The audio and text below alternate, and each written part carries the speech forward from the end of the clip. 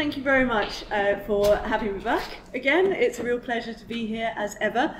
Um, as ever, as well, I'm come wearing a couple of hats today, so I just wanted to start off actually by talking quickly about the Royal Archaeological Institute, uh, who are kindly uh, co-sponsoring today. If you are not a member, as Elliot said, do please consider joining. It is a, a wonderful institution. Um, they offer full membership, for which you get all of these fantastic things, including access to the Society of Antiquaries library, which is a, a major bonus.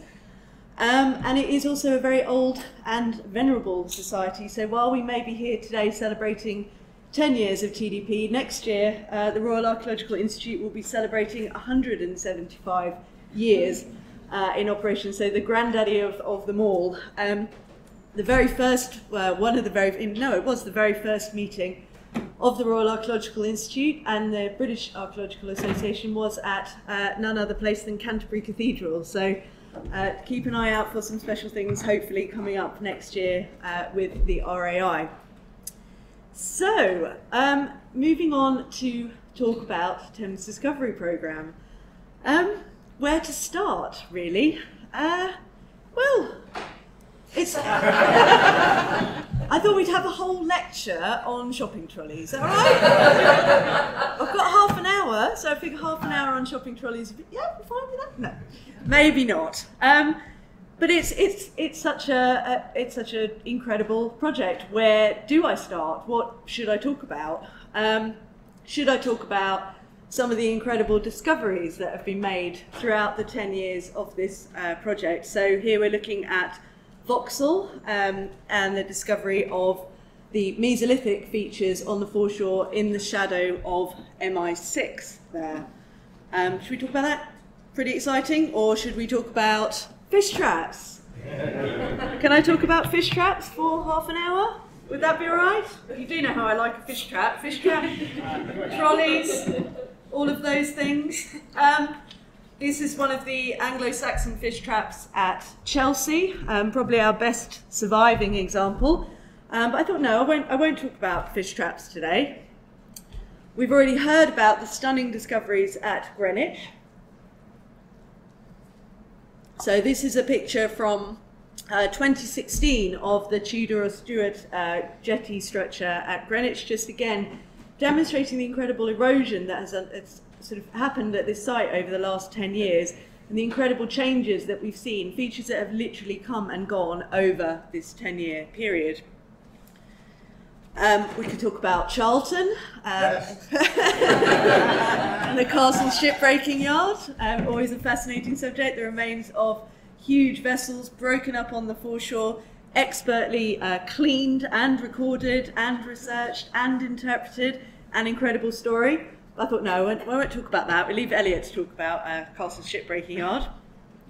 Or we could talk about the work that we've undertaken on really iconic uh, sites like the Tower of London foreshores. Again, a site where we've got incredible uh, dynamic erosion going on, lots of changes, and parts of the site that we've been working on in the past, obviously, you can, uh, again, no longer accessible. So they have been covered up by uh, modern consolidation to protect the river wall. So I thought about talking about some of our amazing discoveries, and then I thought, no, actually, I'll talk about something else. So I thought, well, should I talk about all of the events and the activities and the outreach and the thousands and thousands of Londoners that we've spoken to over the last 10 years? So here you can see Helen uh, in action on the Tower of London again on one of our foreshore open days. Josh down on the uh, Bankside Beach uh, with a a group of all ages there, talking them through what they're discovering on the foreshore. And last year at uh, Putney, so a big event um, working with our frog teams to talk to visitors um, and again working with young people to explore uh, the excitements of the foreshore at Putney. So I thought, well, I could talk about events and activities. And then I thought, no, what else can I talk about? Uh, can we talk about TDP on TV? That's pretty exciting. We've been on TV a, a lot, actually. Um, this is us down on the foreshore in Greenwich in uh, 2010, photographed by uh, one of our frog members, Joe Warren, um, filming for what was the very first series of Digging for Britain. So we've been around a long time. We're on the first series, And in the middle there, we've got a picture of Graham Kendler, now very sadly missed colleague from uh, Museum of London Archaeology, a, a huge expert on finds of all kinds. We could talk about being on Time Team. Um, one of the first, we were on one of the first episodes of Digging for Britain. We were on one of the last episodes of Time Team. Let's not make a correlation there that we were on one of the last episodes of Time Team. But here's a, a beautiful photograph by uh, Rose Bailey of filming at Charlton for Time Team, uh, the Time Team special. This one was, I believe, in 2011. So here's the team hard at work uh, and being recorded in their uh, their efforts. Should we talk about awards? We should. Um, this remains one of my favourite ever photos that I took actually on the Thames foreshore because somehow I managed to get a little glinting spotlight on the award. Now, TDP is, is an award winning uh, project. 2010, we won the award for the best representation of archaeology in the media for our website, which is remarkably unchanged since 2010, actually. So I like to think it is still award winning. Uh, in 2012, we won the Best uh, Community Archaeology Project. And of course, on Monday, we are up for uh, Best Archaeological Project for this year. We are one of only two projects that have been shortlisted this year. So we have a pretty good chance uh, of winning the award. So we will keep you posted uh, live from the British Archaeological Awards, just like the Oscars, honest, it's just like that. Um, so I thought about all these things and I thought, well, I could talk about them all, and actually I've managed to talk about some of them in a kind of highlighted way, but I thought, well, what else, what else could I talk about uh, given that I am a, a speaker without portfolio, um, I haven't had to provide an abstract. I could say anything, literally anything. Um, so actually, what I thought I'd talk about was our uh, photographic archive. I thought I'd talk about the Flickr um, site. So Flickr is where we archive all of our photographs. It is a publicly accessible online archive of um, nearly four and a half thousand images now. And it too is 10 years old this year. So it has been with us since the beginning of the project, and I hope it will, will carry on um, being used you can look at photographs in a, a, sort of stream, so you can look at them as they were taken, you can look at them in albums or sets, you can look at them by collections of key sites or by borough, you can look for them on a map, or you can search for them using tags, so the, the way that the photos are labelled. So fish trap, for example, you can put that in as a search term and it will bring back pictures of fish traps. Now, I hope it's a, it's a usable and useful uh, archive. What we do know is that a lot of people are looking at it. So as of uh, Friday, when I Friday, Thursday, yesterday, yesterday. Oh yeah, it's only Saturday. Um, as of uh, the day before yesterday, when I was putting this PowerPoint together, we had had 1.544735 million views of these images on Flickr, which is amazing, which does suggest, hopefully, that people are visiting this site to look at uh, our photographic records. Um, obviously, particularly useful when you're talking about things like erosion, and I'll come on to that. So, what I thought I'd do um, is a little bit of a top of the pops style uh, countdown of the top 10 viewed photos, most viewed photos on Flickr. So that's what we're going to do. So here we go. At number 10 is this. Um, now I should add that number, the, the bottom of the, the top 10 chart is a very dynamic place. It changes around very quickly down there. So, you know, things coming up, things going down, hits are being made. Ben Lewis, you need to not be in my slide. Sorry, Ben Lewis. So, this is one of the older, obviously oldest pictures in our uh, online archive, and this is a photograph um, by Gus from April 1977. So this is one of the first sort of foreshore explorations um, by, by our leader. Um, underneath Southwark Bridge, we are here. So just hold that picture in your mind, and we jump forward to 2016. So I'm slightly nearer in, um, but immediately you can see the sort of dramatic changes over the last 40 years. And really, I hope, as I mentioned earlier, demonstrating the, the enormous value of these monitoring images, going back, trying to stand in the same place if you can, taking the same photo time and again to look at how the foreshore is changing. So just to, we're just going to flick back and forwards between these pictures to have a quick look. So looking back here, the first thing that strikes me is that revetment line at the front, um, where we've lost a lot of the horizontal uh, timbers there.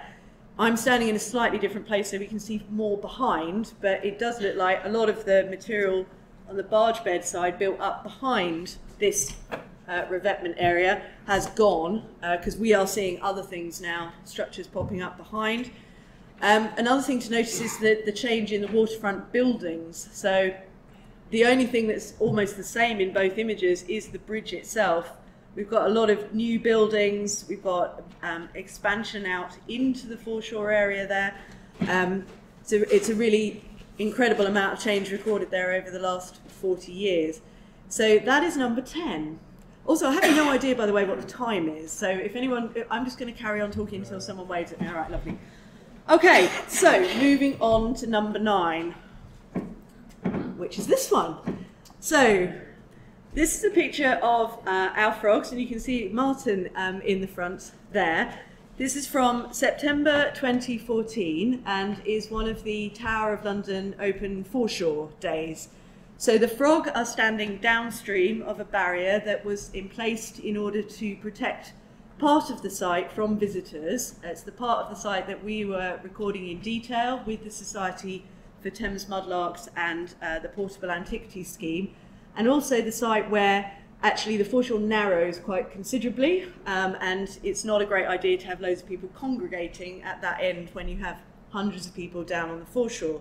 So the frog are here um, engaging with members of the public, discussing the archaeology, looking at what people have discovered um, and talking to them about why we have a barrier uh, in place on the foreshore. So each time I, got to one of these uh, countdown figures or countdown images, I thought I, it, it sort of prompted me to go off and explore what else was in that set or what other things were associated with that image. So in that set, um, was this image as well. So this is one of the finds that was made during the Open Foreshore weekend. It's a tiny, tiny little stoneware uh, pot or a little tankard, jug of some sort, found by a member of the public. So presumably a child's toy. Um, it, I can't think anything else it would be useful for. Um, and it is, of course, just one of a number of incredible, wonderful artefacts that have been found on the Thames foreshore at the Tower of London, um, both by the Society of Thames Mudlarks, the Thames and Field Metal Detecting Society, members of the public. Um, so we have a whole array of Roman artifacts here, so a group of coins which actually were all found on the same uh, day in 2011. Uh, a Roman oil lamp, which, if a memory serves, was found by a child uh, during one of the uh, open foreshore days. Wonderful medieval artifacts as well. So we've got a, a medieval 12th century bone buckle uh, resting in Mark Jennings' hand there. Uh, and a, uh, uh, what I thought, I thought at first was a, a, pilgrim token, but actually turns out to be a beer token, um, John Clark tells me, 13th century, again uh, found on the Tower beach. So, number eight. Um, number eight and number seven, actually, which we'll come on to in a moment, are again two photos from the 1977 uh, foreshore exploration. Um, this one is uh, on the original card is titled "Under Southwark Bridge: The Remains of Three Cranes Wharf?" Question mark. Um, this is a feature that, to my knowledge, is no longer there. So again, capturing this data, it may be the when you take the photograph, it may be the only time you see a feature. Um, this probably didn't wash out overnight, but it certainly has disappeared or been covered up in the last 40 years. Similarly, number seven, um, these are the stairs at Cousin Lane. Now, the stairs are still there, but the structure is completely different. So, these stairs were removed some point post 2000, I think, or 1998, um, and have been replaced by a set of modern stairs. So these images and the ones in the Thames Archaeological Survey archive are the only ones that we, we now have a record of what was uh, there before. So three of the 1977 uh, images so far in our top 10. City of London, uh, we've already heard about this morning from uh, Melvin's talk, uh, and the, the images that uh, have been produced of that, that area. Um, the sort of dynamism of that site has been demonstrated as well by Elliot's talk, and the, the sort of rapid erosion and the rapid change. And of course, this site, we now have a completely new uh, feature to monitor. So because the erosion again has been so severe, like at Greenwich, like at the Tower of London, um, but even more substantial actually. This is probably the most substantial bit of foreshore reconstruction that we've seen so far. We have an entirely new uh, revetment and barge bed constructed um, along property boundaries as well, which is fascinating. So it doesn't actually extend into an area where we've got continuing um, erosion. They've stopped where the property boundary is. So it'll be interesting to see how it erodes around this brand new uh, structure over the next few years. Number six. I can't actually remember what number six is now, so it's quite exciting, this countdown for me as well. Oh, it's this! Oh, it's graffiti! Yeah! So, uh, rather pleased to see graffiti making an appearance uh, in our top 10. Again, a find from uh, the Tower of London. This is on the wall. Um, just near a set of stairs, as you come down the stairs um, underneath the Tower Wharf, there is a stone covered in uh, people's names. Now, I don't know who any of these people are. Um, they could be, it could be children visiting, it could be adults visiting, but someone has decided, or a group of people, probably at different times, have decided to leave uh, their mark on the wall. Now, graffiti and uh, marks on, on, on walls or stones in our environment are very interesting. Sometimes they are uh, very ephemeral, they're not going to last very long, um, but they are expressing some very sort of deep and powerful emotions here. This, this declaration of love, and it wasn't my children, um, on the foreshore here. Uh, in Greenwich, um, but that won't, you know, that won't survive for very long. So again, is this something that we could be thinking about making a record of? Um, and, you know, so they are expressions, they are uh, a commentary almost. So maybe this is something else that we could be looking at recording, especially as they may not last for very long. Um, another kind of mark, um, Elliot's already referred to sort of potential uh, witch marks this morning, but Mason's marks as well may prove to be another interesting area of study if we're finding those on both in situ and ex situ uh, stones. So this is from the Tower of London, and this one is from Greenwich. So we haven't got a lot of examples of those recorded so far. It's about 15 or so that come up when you search in Flickr for Mason's marks, but it might be another sort of, it may just be that we haven't tagged them or labelled them correctly in the archive. Um, it may be proved to be an interesting sort of source of study in the, in the future, a research topic. Right, number five. Oh yeah, okay. Uh, so this is our only, interestingly, artifact photograph, photograph in the top 10.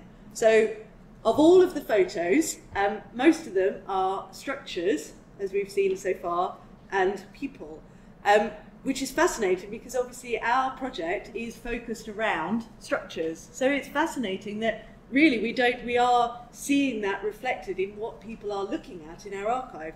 The, the artifact photos are popular, but they're not the main thing in the top 10 that people are looking at. This one, however, is at number five. So this is a key uh, found on the foreshore in Westminster, and I have a feeling that the, the caption for the photo says something like the key to the Houses of Parliament? Question mark. Which might might explain why it's it's been well uh, viewed, but it was found on the foreshore just in front of uh, the Houses of Parliament, so you know who knows. Um, while thinking about this image, I thought, well, what what were we doing there at the Houses of Parliament in August 2013? What sort of things were we uh, looking at?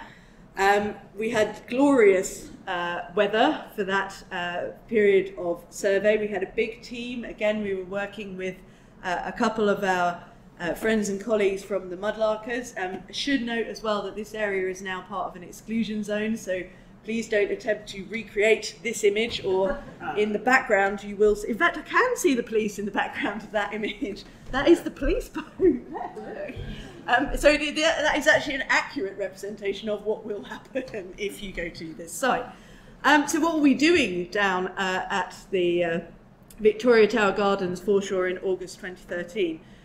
Uh, we were recording the uh, evidence for a World War II uh, bomb damage to the river wall, um, very, very close to the Houses of Parliament, and a subject that is explored in detail uh, in Gus's chapter in the book that uh, Elliot has mentioned on numerous occasions. Um, we were looking at this uh, amazing collection of uh, medieval work stone. So if you notice where the bomb strike is, uh, just, oh no, that doesn't work, just here, so this is the bomb damage. The foreshore in front of it, you can see, is littered with um, masonry, pieces of stone that have basically been blown out from behind the river wall. So behind the river wall is a, is a piece of made ground, is a park, and they seem to have created the park by backfilling with masonry bits and pieces from the surrounding area, including a beautiful collection of uh, medieval work stone. So potentially material that has come from uh, the medieval Westminster Palace, all recorded by uh, the Frog and interpreted by James Wright, our colleague at Museum of London Archaeology. Uh, note also the ashtray just uh, lurking in the corner there. Um, there's some good evidence for uh, activity in the immediate vicinity, largely comprised around eating and drinking. Um, the, the, the MPs and the, the Lords in the Houses of Parliament, they're not particularly tidy lot. Um, this is just one morning's uh, gathering of uh, artefacts. They are chucking stuff out the window uh, in greater or lesser quantities. Um, and they're very careless as well uh, with their with their, uh, with their equipment. So uh, this is the Blackrod Stairs uh, radio, which we did hand in. I should add, we did, we didn't keep it. We gave it back and said you might be missing this had you noticed that you haven't got a radio. So at number four is this picture. So we have uh, Elliot, Jeff, Helen, and Assad. Uh, and I think that's Margaret and Selina in the background there, uh, cleaning um, on the foreshore at, again, we're back at the City of London, we're at uh, Red Bull Wharf, so just near Cannon Street Railway Bridge. And this is the fourth most uh, popular picture in our archive. Now, I don't know whether the word Red Bull being associated with this image may have something, again, to do with the fact it's appearing in searches a lot. Um, but what I particularly like is it shows an activity that we are all, uh, as frog members, uh, very familiar with, which is cleaning on the foreshore, which to an outsider probably looks pretty bonkers. Um, I also think, uh, having looked through this, that we should probably be thinking about getting some kind of sponsorship uh, from a bucket company, um, because buckets are, as you will see, uh, very prominently displayed uh, in all of our photographs of cleaning on the foreshore. So um, moving round this image, we have uh, Gus cleaning a very rarely uh, uh, seen boat on the Custom House foreshore. We have a frog group cleaning at Wapping in front of the town of Ramsgate Public House. We've got a group in Brentford cleaning the remains of a, Elliot will have to remind me the date of the, a naval pinnace um, at Brentford. And at the top, we've got uh, a group hard at work on the Tower of London foreshore. So cleaning and recording are the, the two key activities that uh, come up in our sort of Flickr search. And again, the, the buckets are pretty prominent in the recording images as well. Um, so yeah, sponsorship from a bucket company would be a good one. So uh, we're all over Greater London in these pictures, starting with Isleworth, in the uh, top corner here. Busy scene again at the Tower of London um, and at Greenwich and over in Charlton near the Thames Barrier at the far end. So pictures of, um, of cleaning, recording, uh, archaeologists at work are a very popular uh, sort of theme within the Flickr archive. It should be added as well as, the, as a person who has taken a lot of these pictures, it can be quite difficult when everyone is bending over to, to not take pictures of your sort of rear view. So I do apologise if over the years I have taken pictures that feature your, your, your posterior, um, and particularly apologise if they've ended up on the front cover of a book. but it is, I mean, it's a spectacular photo. The, whole uh, image there is a spectacular photo, bottoms included. At number three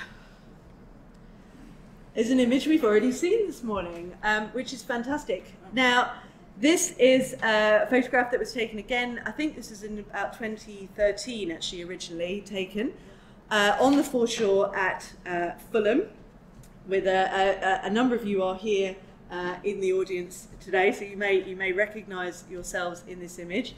Um, and as Elliot said, this is a, a, a very large fragment of Anglo-Saxon 10th century waterwork surviving in situ on the foreshore, so possibly the remains of a, a collapsed uh, fish trap hurdle, or maybe put down as some kind of foreshore consolidation. When it's, it's not entirely clear what the, the function of it is. What is clear, however, is how fantastic uh, the frog members are at outlining a feature. Um, it is an excellent thing um, and amply well displayed here by the Fulham frog. Um, another quick example, uh, here are the frog on the Isle of Dogs. Uh, in this case, at Burrell's Wharf, helpfully outlining a uh, bomb strike to the uh, slipway of the great the SS Great Eastern. So the uh, the frog you can see are ringing uh, the area of bomb damage there. It's also time team. Also time team. Number two is this one. Um, so this is Deptford Creek. Um, photo, it's it's the earliest Thames Discovery photograph in our top 10. So the 1977 photos feature uh, prominently in the top 10. This is the first sort of TDP, the oldest TDP photo that features in our top 10 and features highly at number two. Um, taken in March 2009, and I, it, I actually have, this is my only visit to uh, Deptford Creek. I haven't been back uh, to revisit since this photograph was taken. Um, it's a. I'm, I'm really interested to see this one so high up in our countdown. It's not a site that we uh, work at. It's not a site that we, we visit regularly. Um, the, the walks, if you haven't done a, a walk down Deptford Creek, the Creekside Trust do amazing guided walks at low tide in Deptford Creek. I highly recommend them. Um, and it is fantastic to see. It's a very, it's quite a dramatic image, so uh, maybe that's the reason that it has been uh, very popular. Now, actually, on this uh, particular foreshore walk, I was accompanied by uh, a tadpole, uh, our earliest uh, tadpole, who is again in the room with us today. And during the afternoon, after we'd done our walk, the tadpole was free to roam with the camera. So we have some fantastic images uh, of what an eight-year-old uh, saw at Deptford Creek. Um, so we've got a pair of boots here, some nice textures uh, going on there. Um, and this picture, um, which is one of my favourite uh, pictures in our archive actually, and was on a, we had it on a postcard um, for a while. So maybe again a, a future project for our tadpole teams to get out there with their with their phone cameras and, and start taking some pictures of, of things that they notice while they're out on the foreshore or when they're back up on the waterfront. So, we're at number one. Can you wait to see what it is? It is this. I think the reason that this image has nearly 2,000 views is that Elliot looks at it every day. I can only assume. Um, this is the number one most viewed photograph in our uh, Flickr archive. It, and it has been for years, actually. It's been consistently there at number one for many, many years now. Um, it is one of the uh, ballast barges at Tripcock Ness that Elliot uh, mentioned earlier. It is to my eternal shame that the scale in the image is not quite in the right place, which annoys me every time I look at it. Um, but it is, it, again, it's, it's fascinating, the most viewed image uh, in our archive, and this should make Elliot's heart very glad, which it does, is a ship uh, or a boat. Is it a ship or a boat? It's a boat. It's a boat. Right, I should know that. Um, and again, entirely appropriate that in uh, TDP's 10th year, they have revisited uh, the site to do monitoring and recording of these uh, incredible uh, features, these incredible vessels that are on the foreshore. vessels. Incredibly bad vessels, they are awful. so, that is our, our top 10 uh, countdown. Now, it wouldn't be top of the pops unless there was some audience participation. So, dancing, no, I don't mean dancing, honestly. But what I would like to do is get you all um, up and moving. Uh, how am I doing for? Okay. Um, just before uh, we have lunch. So we've got a little bit of um, standing. So what I'd like to do um, is that I would like everyone who is a, uh, a frog member um, to stand, if that's okay. Excellent. Um, I'd also like anyone who has ever been on a on a guided walk uh, with us on the foreshore to stand up. I would like anyone who has ever been to a Thames Discovery Programme lecture to stand up. I would like anyone who has read about us on the internet or in a magazine or seen us on television to stand up. And I would like uh, anyone who's this is their first event uh, with the Thames Discovery, uh, to which you are most welcome uh, to stand up if you are joining us for the first time. Um, we welcome you. So I just wanted to say, uh, you are the people who make the Thames Discovery Programme what it is. Your support, your enthusiasm, uh, your willingness to to uh, to be involved in everything that we do, and I think you should give yourselves a standing ovation. Happy birthday!